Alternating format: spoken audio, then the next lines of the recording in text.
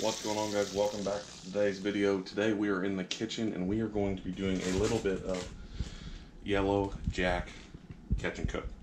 I want to show you guys some clips of us catching these fish and we are going to get into those in just a second but we're going to try and catch or we're going to try and cook some yellow jack.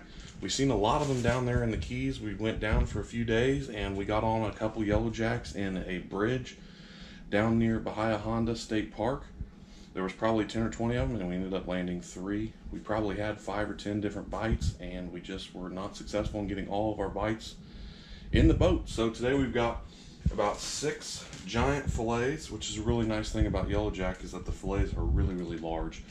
And the bad thing is is that there's some red meat in them so we're going to get those cut up in just a second. But to start i want to show you guys some clips of us catching these and then we'll get into the cooking part Oh, did she really? Yeah.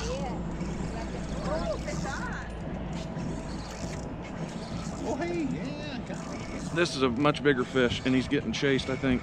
Ooh, yellowtail. Oh, no, it's... Oh, No, I lied. It's a yellow oh, jack. It's a Spanish back or something, maybe. I'm not oh, sure. It's nope, a- nope, nope. It's a, it's a, it's Is it a jack. It's a yellow jack, I think. Yeah, yeah. One second. And I got the pliers. Yeah, pretty, pretty. Oh, there we go. Oh, hey.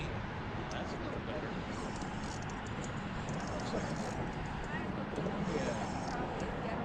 Yeah, this is definitely a good fish. It's got to be.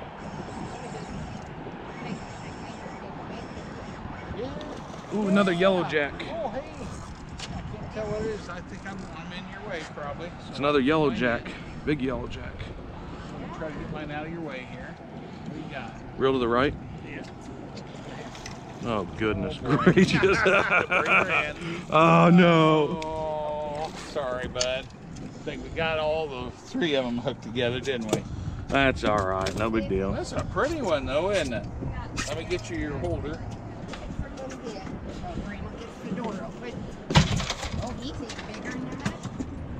Keep him to the right, away from the boat, away from the boat. You're gonna have to stand up. We gotta at least see it. I'm gonna stand back. You guys can do your thing there. What is it? Yellow jacket. Oh, Liz. Another one, huh? They come in groups. They'll, they'll, they'll. You ready for another one? Ready for another? They'll come in a big school through here. Yep. They come in a school. Look at all of them. Look at all of them. Throw in there. I'm getting it. Right hand. Hope you guys enjoyed those clips right there. To start, we're going to go ahead and get this front burner on kind of a medium a medium heat. We've hmm. got just a small pan today because we're not going to do a ton of fish. And we're going to put a little bit of oil in the pan. We're going to do like a shallow pan fry, so about quarter to half an inch of oil. Not a lot. I'm using sunflower oil and extra virgin olive oil. Probably would be better with canola oil just for the fact that it's cheaper and you're frying it, so it doesn't have to be that high uh, high quality oil. Oil in the pan right there, and I got a cutting board, and we're gonna get out some fillets. And as you see, sorry about the kitchen being dirty, but these fillets have a nasty red bloodline, and so you're gonna want to cut all of that meat off and cut any of the little um, skin of the fish off.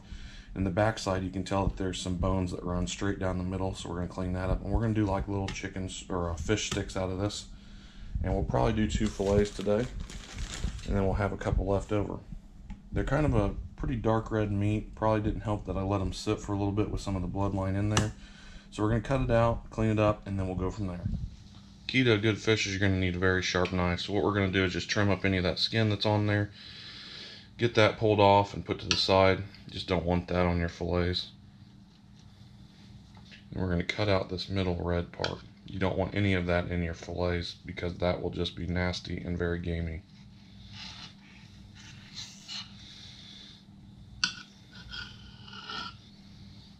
Unfortunately, it's a little bit wasteful because you're using, you're cutting off so much of the red meat, but it's the only way to make this fish very edible.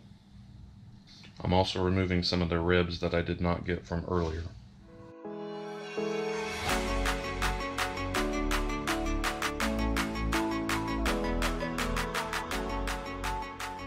Okay, so we got a few different ways we're going to cook this. As you can see right there, that's kind of the scrap that's left over with dark red in it, and then we got our beautiful fillets right there. So we're going to do two different methods today. We're going to use some Frank's Red Hot, which is just the normal way I do it. It's Frank's Red Hot, and then you dip it in flour with a little bit of seasonings, and we're going to lightly fry that. And then another way we're going to do it is with this seasoning right here. This is some Louisiana fish fry products. Seasoned crispy fish fries, seafood breading mix. So we're going to try that on half the fish as well. It doesn't require any type of liquid. Just put your fillet straight in there, and then we're both going to we're gonna fry both of those and see what happens. So let's start making these. So it doesn't require any liquid, so we're just putting the fillet in there. It's gonna be lightly done. And then we're gonna shallow fry this for just a few minutes. There's one.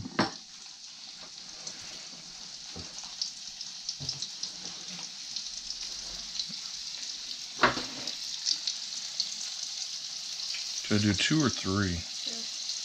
Okay, we'll do two that way and we'll do three the regular way because we know we like regular. Never had yellow jack before, but we'll see what happens. We got any pinchers? So they're already going pretty good. I don't think it's gonna take super long. We got those two, and then we're gonna get probably we're gonna do these three in the Frank's Red Hot, which is our traditional way. So you just put these in the red hot, let them sit for a second, make sure they're completely coated. Unlike the other batter, you don't have to have a liquid. Where this one, you need a liquid to get the flour to stick pretty good. And those will work. So we're going straight from the Frank's Red Hot into the flour. Roll it around a little bit. And there's one fillet. And do the other three, the other two. Roll it around a little bit. Oh my, making a mess.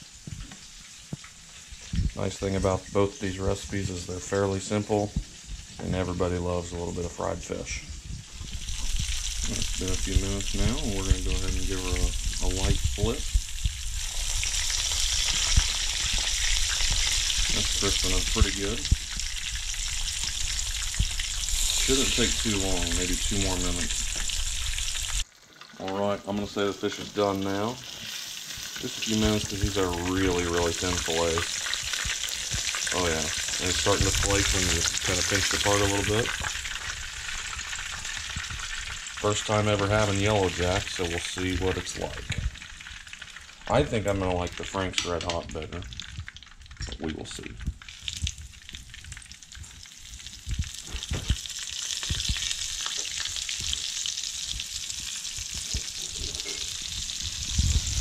There's the three in the Frank's really important to have hot oil so the fish doesn't absorb too much oil because then it just tastes very nasty and greasy. All right, a couple minutes in, let's give her a flip.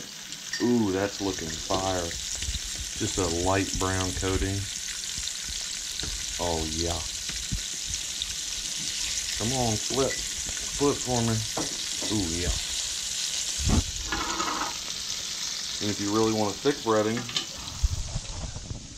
can always do a double dunk on the Frank's Red Hot and do even more flour.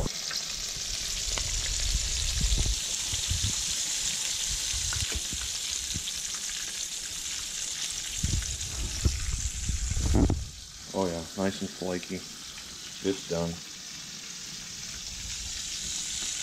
I have to be honest, this looks much better than the uh, Louisiana fish batter couple little pieces right there. Still got a bunch left to go. All right, turn the oven off now. We're gonna let it cool down for just a second, and then we're gonna dive on in and see if it's any good. If you guys have ever had any yellow jack or tried any cool recipes, let me know down below what you guys think. And if you if you have any recipes you want to share, please share them because I've never tried this before, so we'll see if it's any good.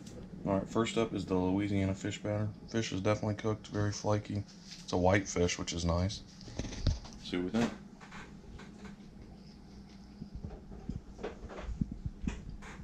It's not bad. A little chewy. It's a very mild fish. Probably needs something like a tartar sauce or ketchup because it's kind of dry, but not too bad. Let's go for the Frank's Red Hot, which is still flaming hot. One second. It's still flaming hot. I want to try it now, though. Okay, let's eat the little guy, not the big guy.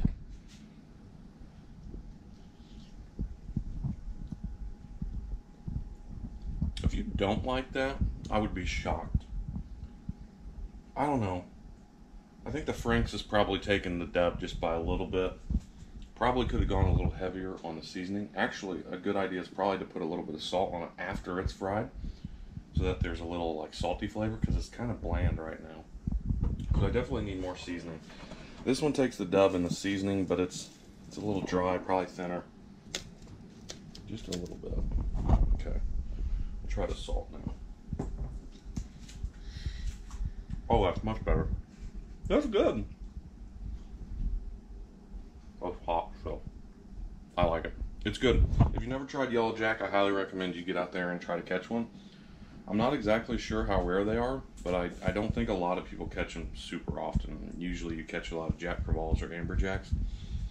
And um, I fish quite a bit, and I've never really got into any Yellow Jacks before. But I do like them. I would I would highly recommend taking it home. But if you don't cut out that bloodline and uh, some of those bones in the middle, you would never like this fish. So make sure you do those couple steps, and I'm sure you'll like it. So make sure you subscribe to the channel, guys. I hope you enjoyed this little catch and cook. And uh, let me know down below what you guys think, and we'll catch you on the next one. Peace.